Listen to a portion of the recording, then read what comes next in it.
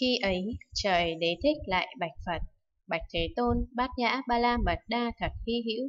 Nếu có nhiếp thọ bát nhã ba la mật đa, thì là nhiếp thọ bố thí tịnh giới, an nhẫn, tinh tấn, tịnh lự, bát nhã ba la mật đa. Nếu có nhiếp thọ bát nhã ba la mật đa thì là nhiếp thọ cái không nội, cái không ngoại, cái không nội ngoại, cái không không, cái không lớn, cái không thắng nghĩa, cái không hữu vi, cái không vô vi, cái không rốt ráo, cái không không biên giới, cái không tản mạn, cái không không đột khác,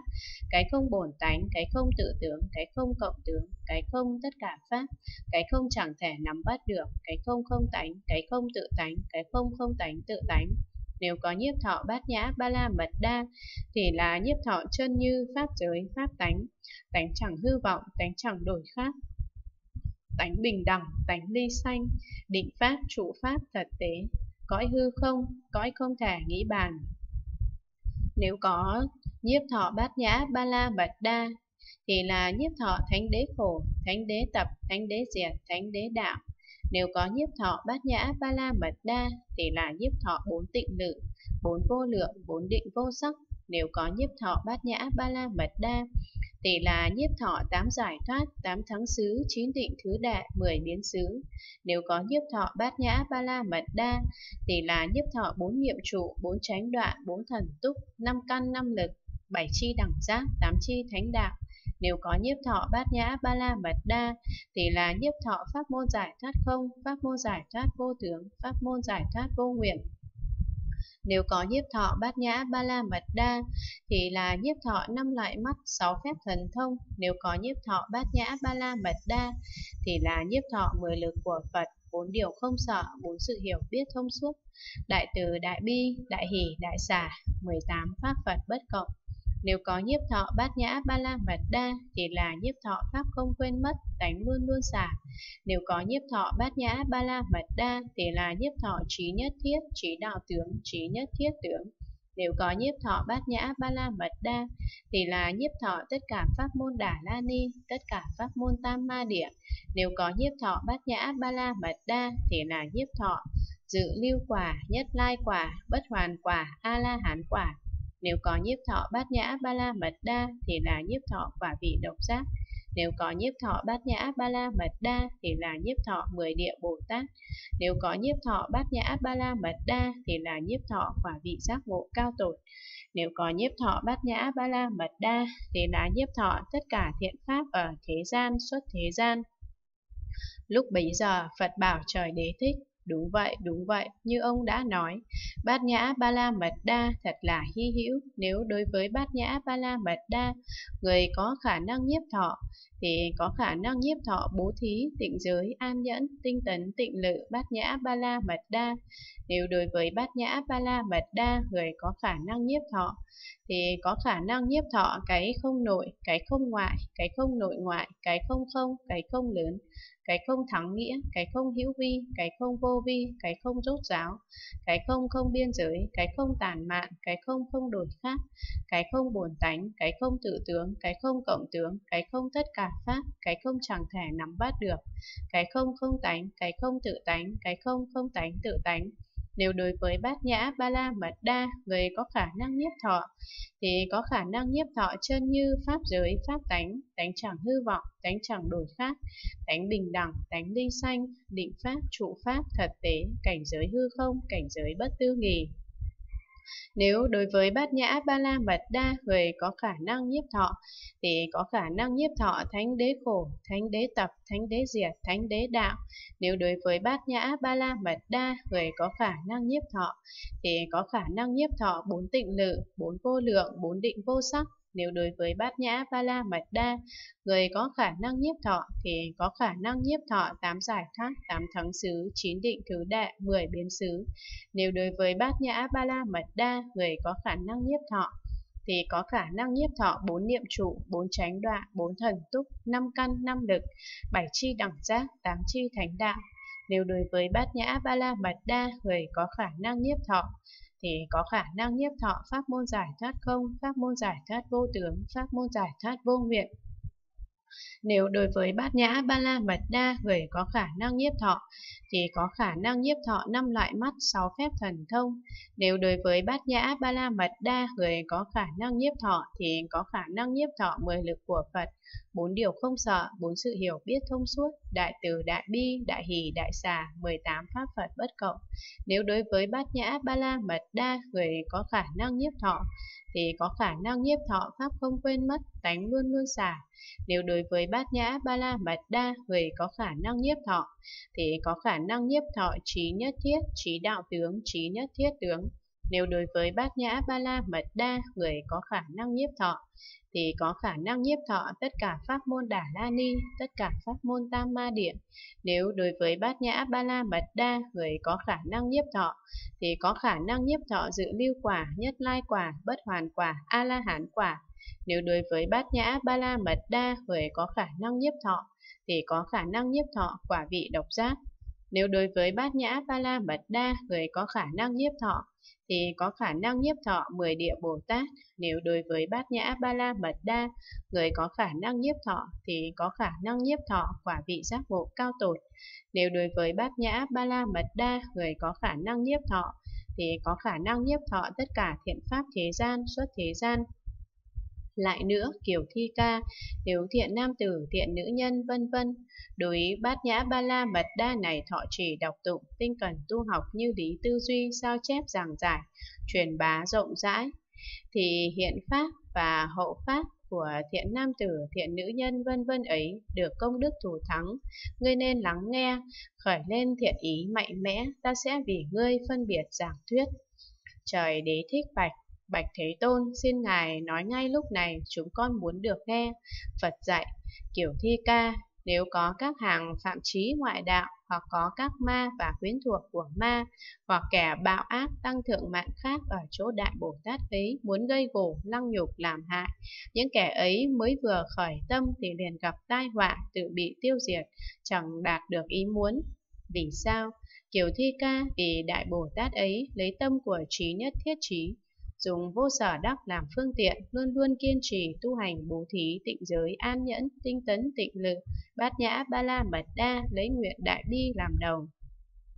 Nếu các hữu tình vì san tham mà mãi tranh đấu nhau, thì Đại Bồ Tát ấy đối với tất cả sự kiện trong ngoài đều bỏ hết phương tiện làm cho họ an trụ bố thí ba la mật đa. Nếu các hữu tình luôn luôn phá giới, thì Đại Bồ Tát ấy đối với tất cả sự kiện trong ngoài đều bỏ hết phương tiện làm cho họ an trụ tịnh giới ba la mật đa. Nếu các hữu tình luôn luôn sân giận, thì Đại Bồ Tát ấy đối với tất cả sự kiện trong ngoài đều bỏ hết phương tiện làm cho họ an trụ an nhẫn ba la mật đa. Nếu các hữu tình luôn luôn lười biếng, thì Đại Bồ Tát ấy đối với tất cả sự kiện trong ngoài đều bỏ hết phương tiện làm cho họ an trụ tinh tấn ba la mật đa. Nếu các hữu tình luôn luôn loạn tâm, thì Đại Bồ Tát ấy đối với tất cả sự kiện trong ngoài đều bỏ hết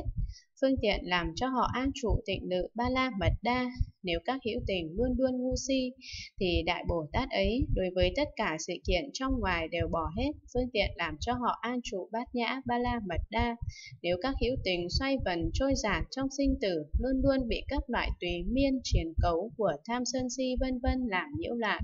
Đại Bồ Tát ấy thường dùng các thứ phương tiện thiện xảo làm cho họ đoạn diệt vĩnh viễn xa lìa sanh tử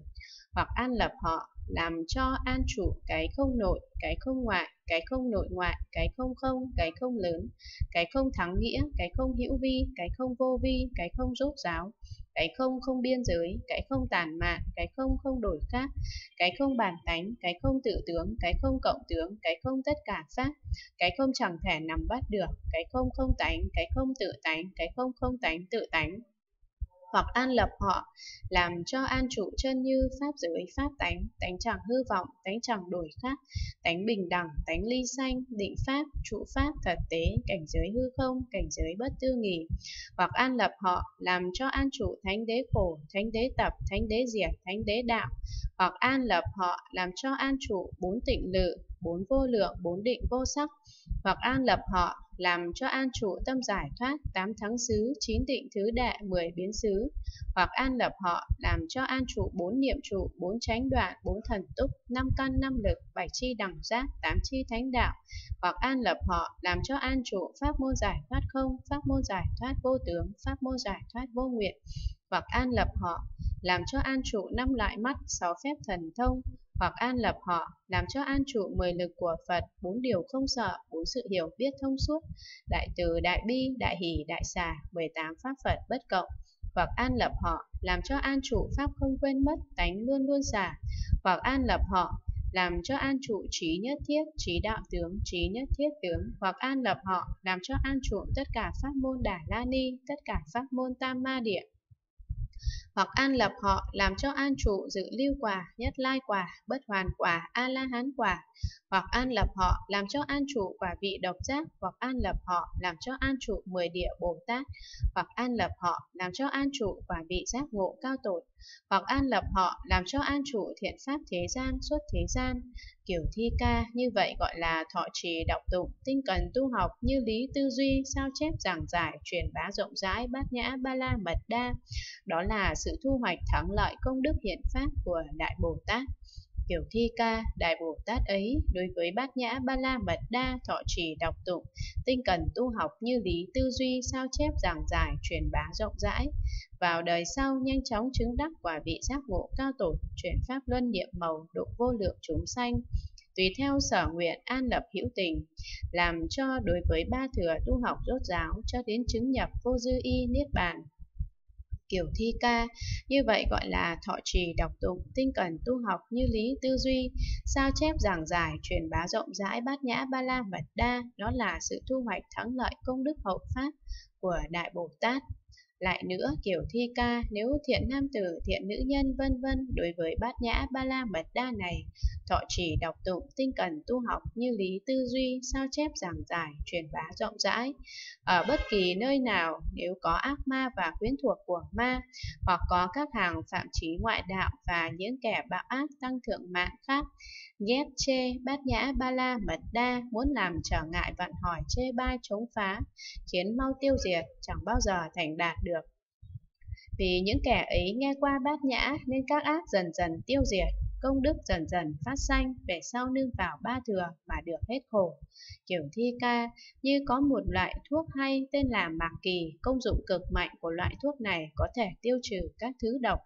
Có một con rắn lớn đói đi tìm ăn, gặp loài sinh vật khác muốn mổ ăn, sinh vật ấy sợ chết chạy vào trong thuốc kia. Rắn nghe mùi thuốc liền chạy lui. Vì sao? Kiều Thi Ca vì tác dụng cực mạnh của loại thuốc mạc kỳ có thể chế phục các độc, có ích cho thân mạng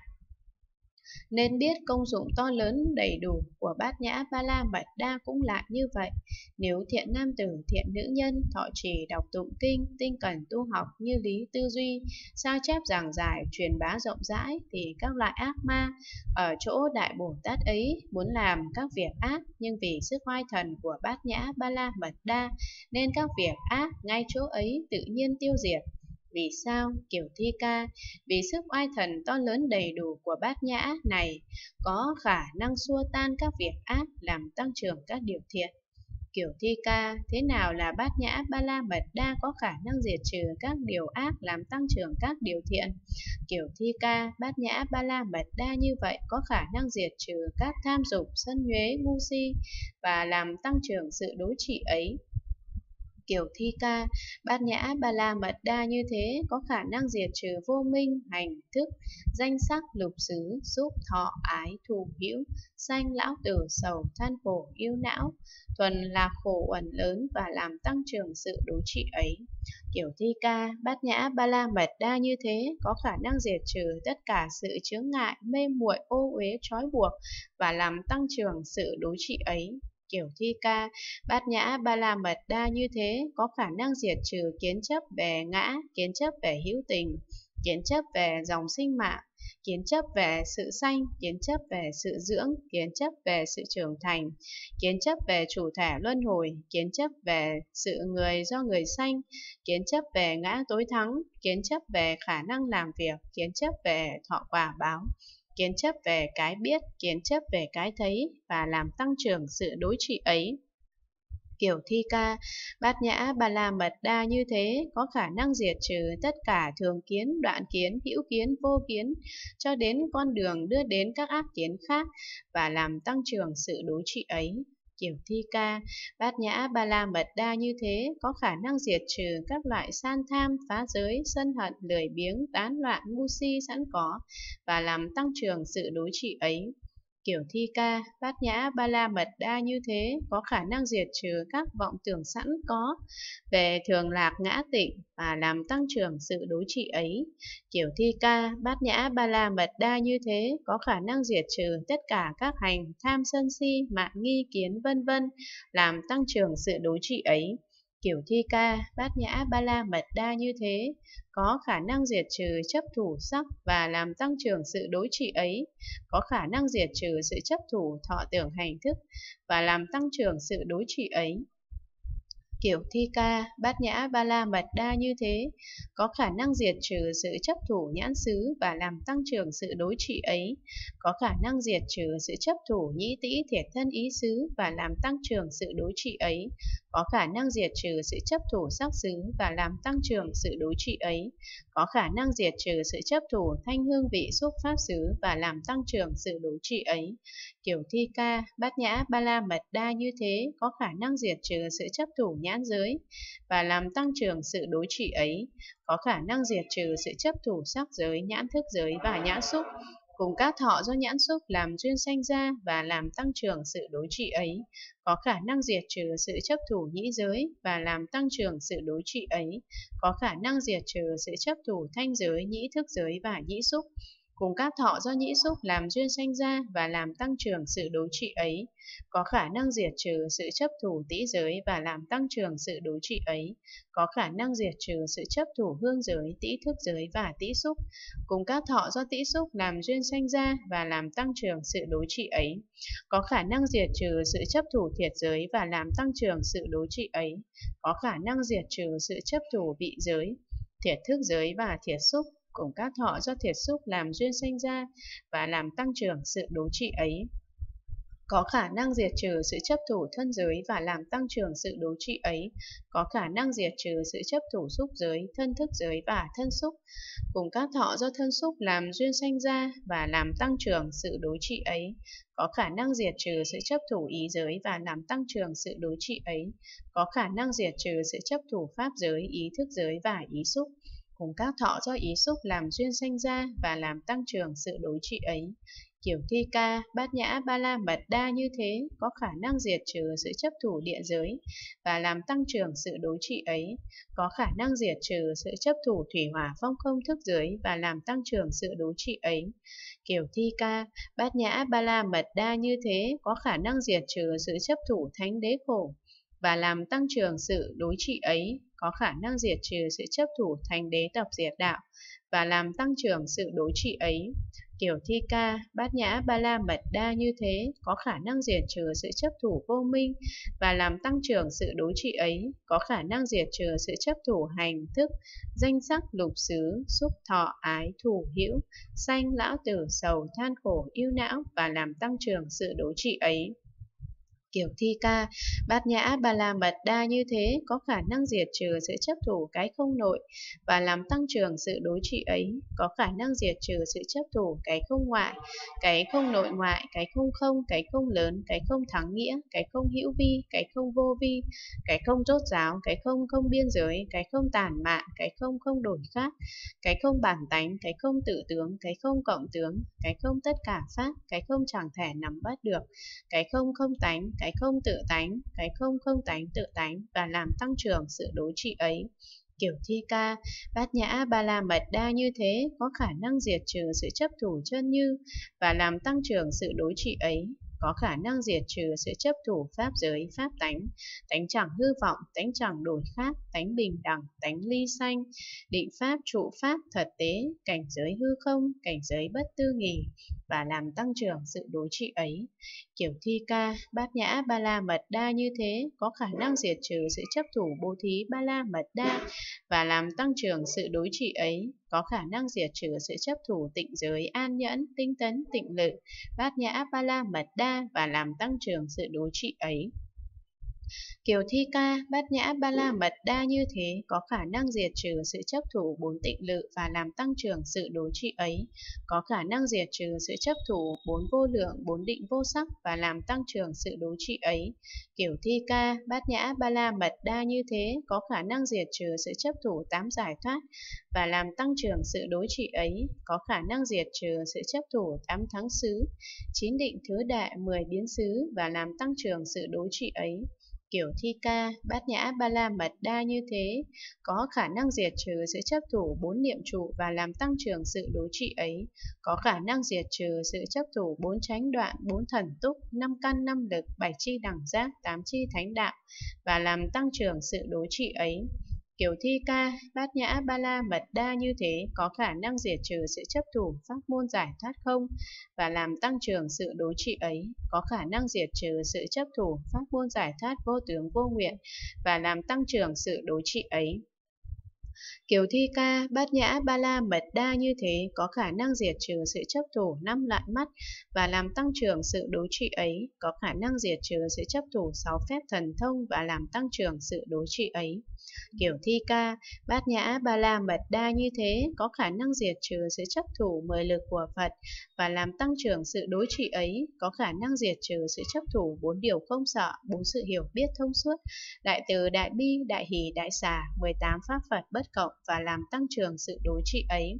kiểu Thi Ca, Bát Nhã, Ba La, Mật Đa như thế, có khả năng diệt trừ sự chấp thủ pháp không quên mất và làm tăng trưởng sự đối trị ấy, có khả năng diệt trừ sự chấp thủ tánh luôn luôn xả và làm tăng trưởng sự đối trị ấy.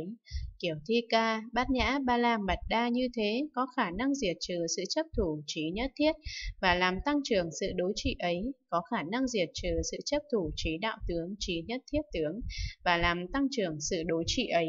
Kiều thi ca, bát nhã, ba la, mật đa như thế, có khả năng diệt trừ sự chấp thủ tất cả pháp môn đà la ni và làm tăng trưởng sự đối trị ấy, có khả năng diệt trừ sự chấp thủ tất cả pháp môn tam ma địa và làm tăng trưởng sự đối trị ấy.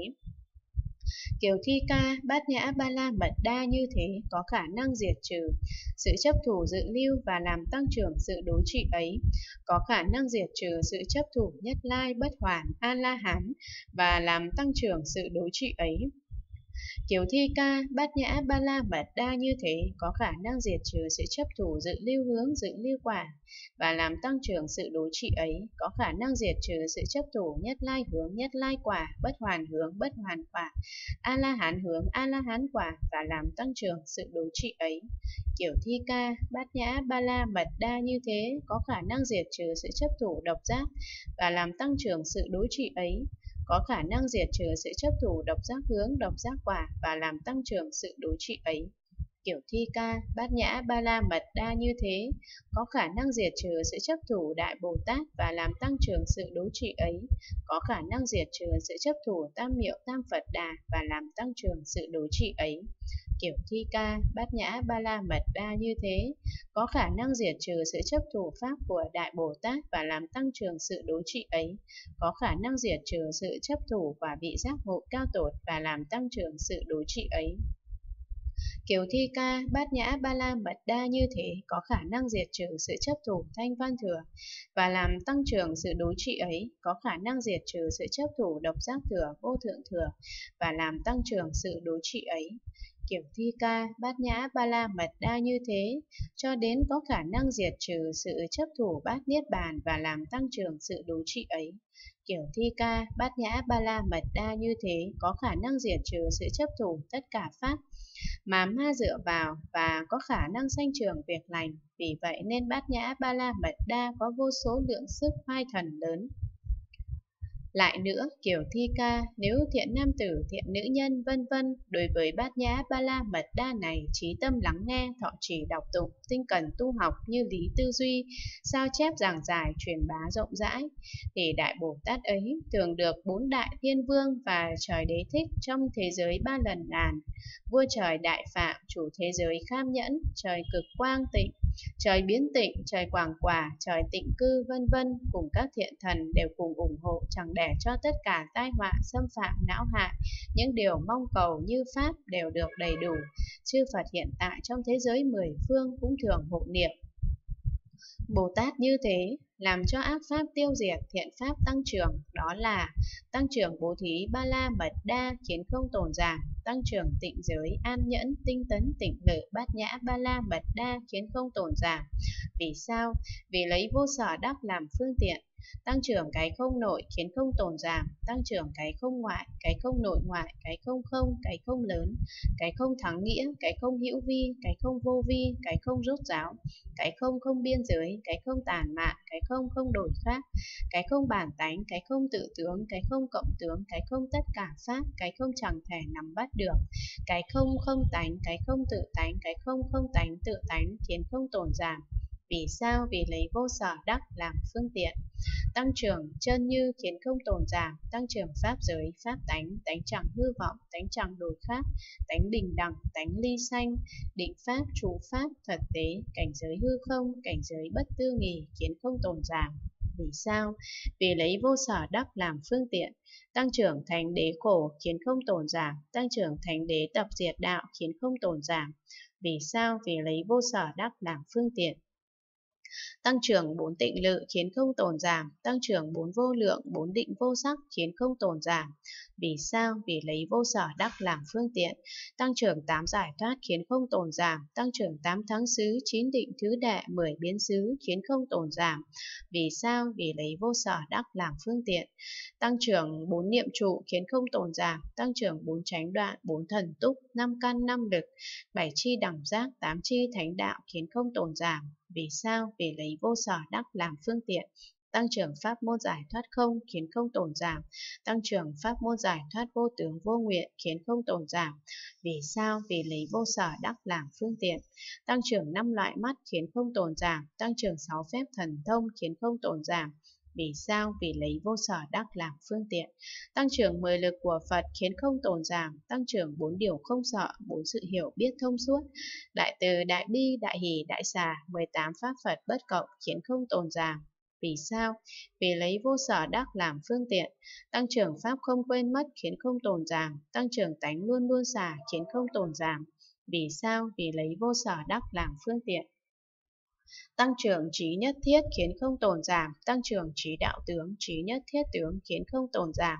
Vì sao? Vì lấy vô sở đắc làm phương tiện. Tăng trưởng tất cả pháp môn Đà La Ni khiến không tồn giảm, tăng trưởng tất cả pháp môn Tam Ma Địa khiến không tồn giảm.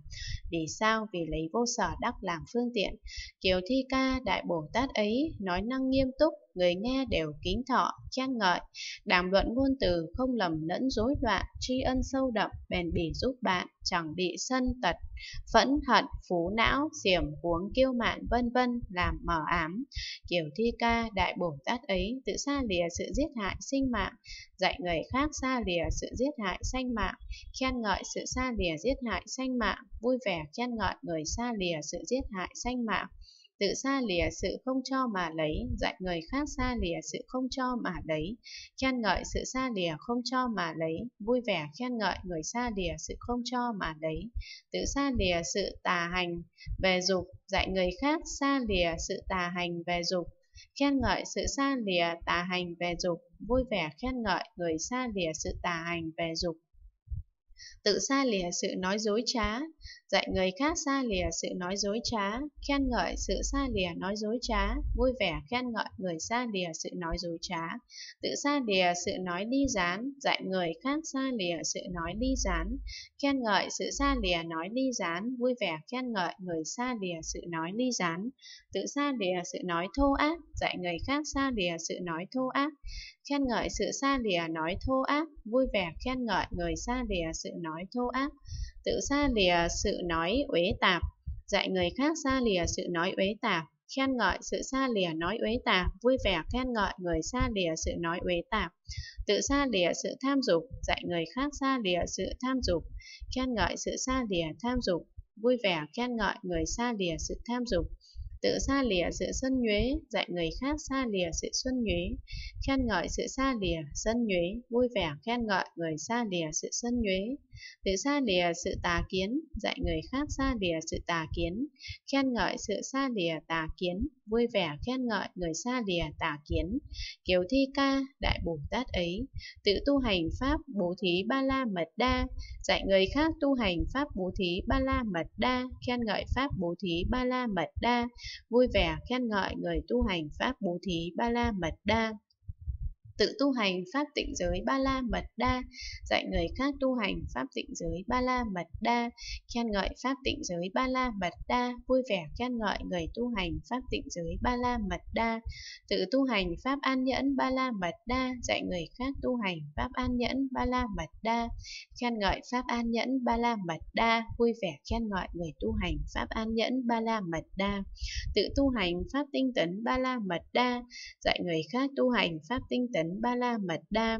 khen ngợi pháp tinh tấn ba la mật đa, vui vẻ khen ngợi người tu hành pháp tinh tấn ba la mật đa, tự tu hành pháp tịnh lự ba la mật đa, dạy người khác tu hành pháp tịnh lự ba la mật đa, khen ngợi pháp tịnh lự ba la mật đa, vui vẻ khen ngợi người tu hành pháp tịnh lự ba la mật đa tự tu hành pháp bát nhã ba la mật đa, dạy người khác tu hành pháp bát nhã ba la mật đa, khen ngợi pháp bát nhã ba la mật đa, vui vẻ khen ngợi người tu hành pháp bát nhã ba la mật đa. Kiều Thi Ca, Đại Bồ Tát ấy tự an trụ Pháp không nội, dạy người khác an trụ Pháp không nội,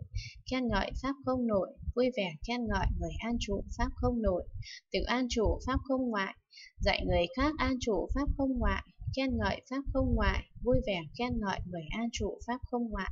tự an trụ pháp không nội ngoại, dạy người khác an trụ pháp không nội ngoại, khen ngợi pháp không nội ngoại, vui vẻ khen ngợi. Người an trụ pháp không nội ngoại, tự an trụ pháp không không, dạy người khác an trụ pháp không không, khen ngợi pháp không không, vui vẻ khen ngợi người an trụ pháp không không, tự an trụ pháp không lớn, dạy người khác an trụ pháp không lớn, khen ngợi pháp không lớn, vui vẻ khen ngợi người an trụ pháp không lớn, tự an trụ pháp không thắng nghĩa, dạy người khác an trụ pháp không thắng nghĩa, khen ngợi pháp không thắng nghĩa, vui vẻ khen ngợi người an trụ pháp không thắng nghĩa, tự an trụ pháp không hữu vi, dạy người khác an trụ pháp không hữu vi, khen ngợi pháp không hữu vi, vui vẻ khen ngợi người an trụ pháp không hữu vi, tự an trụ pháp không vô vi, dạy người khác an trụ pháp không vô vi, khen ngợi pháp không vô vi, vui vẻ khen ngợi người an trụ pháp không vô vi tự an trụ pháp không rốt ráo dạy người khác an trụ pháp không rốt ráo khen ngợi pháp không rốt ráo vui vẻ khen ngợi người an trụ pháp không rốt ráo Tự an trụ pháp không không biên giới, dạy người khác an trụ pháp không không biên giới, khen ngợi pháp không không biên giới, vui vẻ khen ngợi người an trụ pháp không không biên giới. Tự an trụ pháp không tản mạn, dạy người khác an trụ pháp không tản mạn, khen ngợi pháp không tản mạn, vui vẻ khen ngợi người an trụ pháp không tản mạn, tự an trụ pháp không không đổi khác, dạy người khác an trụ pháp không không đổi khác, khen ngợi pháp không không đổi khác, vui vẻ khen ngợi người an trụ pháp không không đổi khác, tự an trụ pháp không bản tánh, dạy người khác an trụ pháp không bản tánh, khen ngợi pháp không bản tánh, vui vẻ khen ngợi người an trụ pháp không bản tánh, tự an trụ pháp không tự tướng, dạy người khác an trụ pháp không tự tướng, khen ngợi pháp không tự tướng, vui vẻ khen ngợi người an trụ pháp không tự tướng. Tự an trụ pháp không cộng tướng, dạy người khác an trụ pháp không cộng tướng, khen ngợi pháp không cộng tướng, vui vẻ khen ngợi người an trụ pháp không cộng tướng. Tự an trụ pháp không tất cả pháp, dạy người khác an trụ pháp không tất cả pháp, khen ngợi pháp không tất cả pháp, vui vẻ khen ngợi người an trụ pháp không tất cả pháp. Tự an trụ pháp không chẳng thể nắm bắt được, dạy người khác an trụ pháp không chẳng thể nắm bắt được, khen ngợi pháp không chẳng thể nắm bắt được, vui vẻ khen ngợi người an trụ pháp không chẳng thể nắm bắt được. Tự an trụ pháp không không tánh, dạy người khác an trụ pháp không không tánh, khen ngợi pháp không không tánh, vui vẻ khen ngợi người an trụ pháp không không tánh. Tự an trụ pháp không tự tánh, dạy người khác an trụ pháp không tự tánh, khen ngợi pháp không tự tánh, vui vẻ khen ngợi người an trụ pháp không tự tánh. Tự an trụ pháp không không tánh tự tánh, dạy người khác an trụ pháp không không tánh tự tánh, khen ngợi pháp không không tánh tự tánh, vui vẻ khen ngợi người an trụ pháp không không tánh tự tánh kiểu thi ca. Đại Bồ Tát ấy tự an trụ Pháp chân như, dạy người khác an trụ Pháp chân như, khen ngợi Pháp chân như, vui vẻ khen ngợi người an trụ Pháp chân như. Tự an trụ Pháp, Pháp giới, dạy người khác an trụ Pháp, Pháp giới, khen ngợi Pháp, Pháp giới, vui vẻ khen ngợi người an trụ Pháp, Pháp giới tự an trụ pháp pháp tánh, dạy người khác an trụ pháp pháp tánh, khen ngợi pháp pháp tánh, vui vẻ khen ngợi người an trụ pháp pháp tánh, tự an trụ pháp tánh chẳng hư vọng, dạy người khác an trụ pháp tánh chẳng hư vọng, khen ngợi pháp tánh chẳng hư vọng, vui vẻ khen ngợi người an trụ pháp tánh chẳng hư vọng. Tự an trụ pháp tánh chẳng đổi khác, dạy người khác an trụ pháp tánh chẳng đổi khác, khen ngợi pháp tánh chẳng đổi khác, vui vẻ khen ngợi người an trụ pháp tánh chẳng đổi khác. Tự an trụ pháp tánh bình đẳng, dạy người khác an trụ pháp tánh bình đẳng, khen ngợi pháp tánh bình đẳng, vui vẻ khen ngợi người an trụ pháp tánh bình đẳng. Tự an trụ pháp tánh ly sanh, dạy người khác an trụ pháp tánh ly sanh, khen ngợi pháp tánh ly sanh, vui vẻ khen ngợi người an trụ pháp tánh ly sanh. Tự an trụ pháp định pháp, dạy người khác an trụ pháp định pháp, khen ngợi pháp định pháp, vui vẻ khen ngợi người an trụ pháp định pháp tự an trụ pháp trụ pháp, dạy người khác an trụ pháp trụ pháp, khen ngợi pháp trụ pháp, vui vẻ khen ngợi người an trụ pháp trụ pháp, tự an trụ pháp thật tế, dạy người khác an trụ pháp thật tế, khen ngợi pháp thật tế, vui vẻ khen ngợi người an trụ pháp thật tế. Tự an trụ pháp cảnh giới hư không, dạy người khác an trụ pháp cảnh giới hư không, khen ngợi pháp cảnh giới hư không, vui vẻ khen ngợi người an trụ pháp cảnh giới hư không. Tự an trụ pháp cảnh giới bất tư nghỉ, dạy người khác an trụ pháp cảnh giới bất tư nghỉ,